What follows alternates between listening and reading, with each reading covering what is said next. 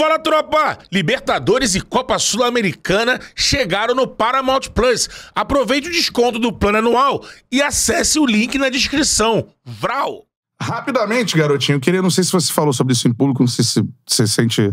O podcast é assim, a gente vai perguntando, né? No sentido. Eu citei agora o, o Gilson. Foi, cara, uma parada que mexeu muito comigo, cara. Assim, pessoalmente. Sim.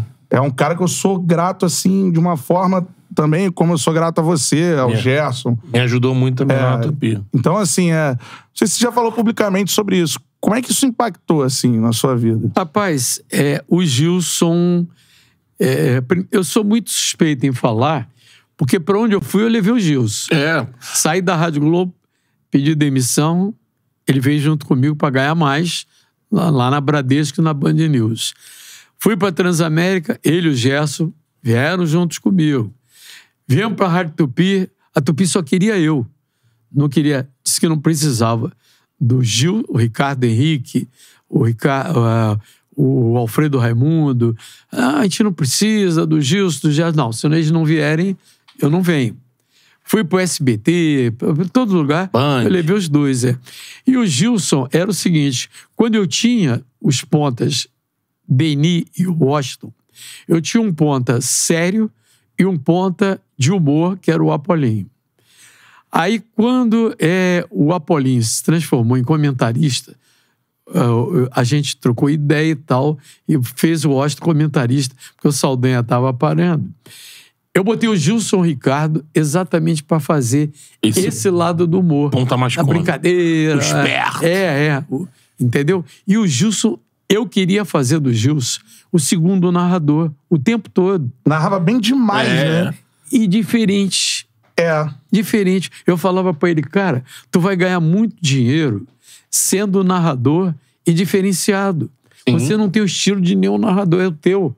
Então, ah, eu não gosto disso, eu não gosto disso. Balançou É, galera. aí, ele, é, aí ele começou a desviar. Tanto que quando eu estreiei na Bradesco, eu estava numa solenidade no Copacabana Palace e jogava, acho que Fluminense e Boca Júnior, e foi ele quem transmitiu o primeiro jogo pela Bradesco Esporte. Foi. foi ele. Tava lá. Agora, a morte dele deixou de surpresa porque ele trabalhou domingo.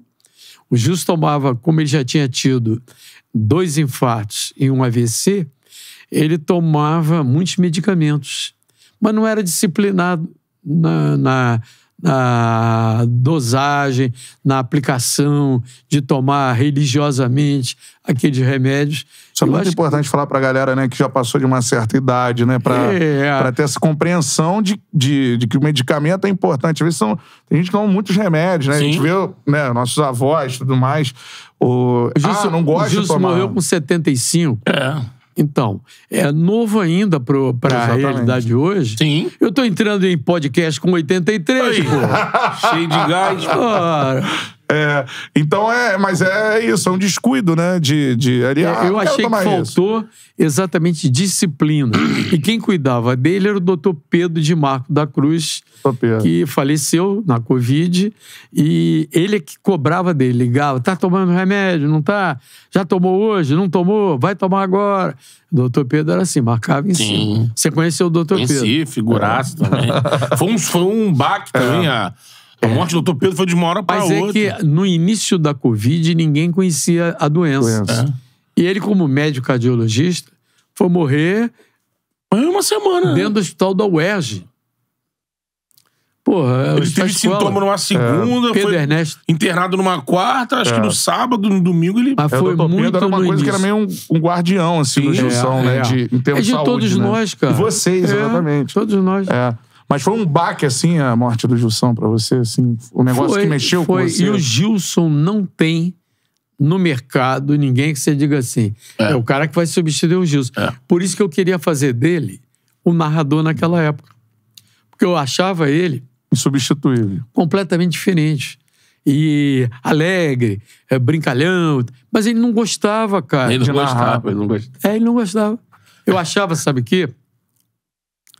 Que ele ia ser muito cobrado.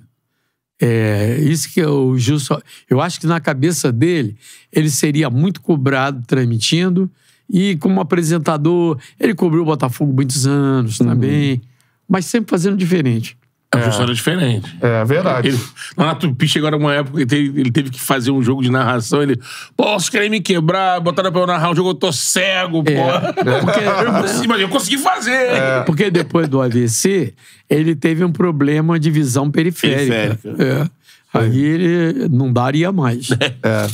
Pra sempre Gilson, né, cara? Gilson, pô, sou grato É, também é, Gilson. Gilson é assim brabo você, demais. Grato ao garotinho. O Grato Gilson pra me deu. sempre. Brigou por mim lá na Tupi pra eu comentar no programa dele e tal. É. e- Aí ele, Bater ele lançou você lá É. no, no Bola em Jogo. Bola em jogo, é. Realmente, sou muito grato. Beto chegava cedo. O Gilson, o programa era meio-dia. É. Ele, nove da manhã, tava na Tava rádio. lá e zoneando tudo. É, é. Tocando o rebu junto com a dona Regina lá, a mulher do Helena, lá, É, de manhã. E ele, cara, era uma, uma coisa assim que ele. Eu participei uma vez, ele falou, me chamou do canto, falou: Cara, deu um gás aqui no meu programa, eu quero você aqui comigo e, e pedia lá pro Marquinhos e tal. É. E graças a Deus, quando eu saí. Eu, ele, eu voltei lá pra assinar as coisas, ele tava lá e eu pude agradecer pra ele. Graças a Deus, pude falar com ele pessoalmente. Obrigado, É. valeu. Figuraça. Essa é a parada pra sempre, Gilson.